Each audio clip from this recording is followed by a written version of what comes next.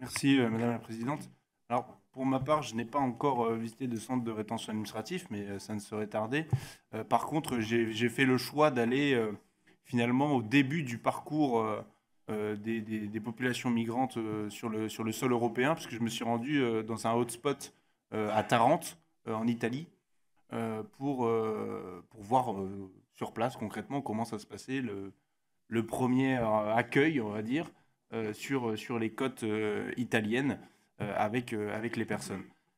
bon, j'ai par ailleurs, au moment de, planifier ce, déplacement, finalement un petit problème avec l'ambassade de France en Italie, puisqu'au départ, je voulais aller visiter le hotspot de Trapani, qui avait été un peu au cœur de, l'actualité, puisque c'était un ancien centre d'expulsion euh, qui a été reconverti en hotspot et euh, les conditions y semblaient un peu euh, on m'a indiqué à l'ambassade que ce hotspot n'existait plus, qu'il avait été fermé, et donc on m'avait dérouté sur celui de, Tarente, chose que j'ai de bonne foi acceptée. Et j'ai été surpris de voir sur place, avec l'officier de liaison qui, était là, du, du, ministère de l'Intérieur, de chez nous, que euh, finalement, le hotspot de Trapani existait bel et bien, était toujours en activité et recevait encore des populations euh, migrantes. Donc, j'ai vu le hotspot de Tarente qui était un peu, on va dire, la vitrine euh, des hotspots, avec une capacité d'accueil de 400, de 400 personnes et 36 personnes le, jour où, j'y suis allé. Et finalement, plus de personnes pour encadrer le dispositif que de personnes migrantes sur place. Euh, des, euh, bungalows qui étaient finalement d'assez correcte qualité. Euh, les choses étaient plutôt bien rodées. En plus, les, personnes qui sont là ne sont pas retenues dans les hotspots. Elles peuvent sortir librement le, le, soir. donc, la, mission première de ces hotspots, finalement, c'est la signalisation, remplir le fichier Eurodac. remplir le fichier Eurodac, qui est d'ailleurs un, des éléments euh, si j'ai bien compris, de, la future euh, loi euh, sur l'immigration et, asile, qui est de dire il faut absolument qu'on puisse trier entre soi-disant les, les, bons migrants et les mauvais migrants, et surtout renvoyer ceux qui n'auraient jamais dû venir jusque chez nous, parce qu'avec la procédure Dublin, ils auraient dû faire leur demande d'asile, là en l'occurrence en Italie. il faut bien comprendre que dans ces hotspots, en Italie, ce n'est pas la, majorité des personnes migrantes qui y sont accueillies. Euh, la majorité débarque sur des, côtes euh, où il n'y a pas de hotspot euh, prévu, en dur, présent. Et donc les autorités italiennes montent en une sorte de hotspot ad hoc, temporaire, pour, pour l'occasion.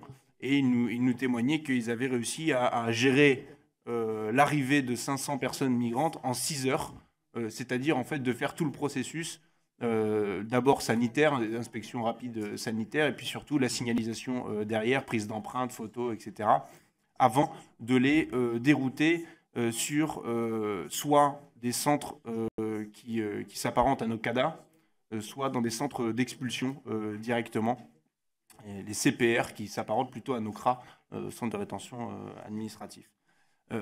Le, sentiment que ça m'a donné en discutant avec les autorités italiennes, c'est que finalement, on est quand même dans une certaine hypocrisie euh, européenne où euh, on est bien content euh, de, de refiler une partie du, du problème aux pays qui sont en première ligne, à savoir l'Italie, la Grèce et l'Espagne. Et que quand on voit le, flux arrivant, on se dit que ça, pousse à avoir un peu plus euh, d'humilité sur la situation euh, en France et à regarder ça d'un œil un peu, différent. Euh, après, globalement, l'Italie expulse pas mal de, personnes et sont dans les mêmes problématiques. C'est-à-dire qu'eux, ils ont un délai de 90 jours, un délai de rétention de 90 jours.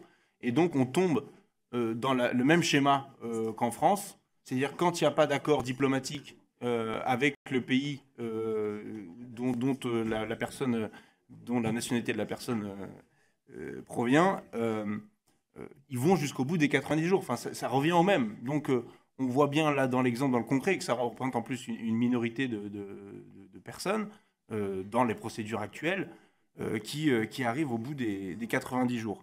Donc vraiment, ces questions de, délai sont extrêmement importantes. Et puis j'attends aussi avec, avec une certaine hâte le, rapport de, nos collègues sur, sur la question européenne en tant que telle, parce qu'on ne va pas régler le problème uniquement, uniquement en France. Donc je ne vais pas être, être plus long pour avoir assez rapidement cette intervention.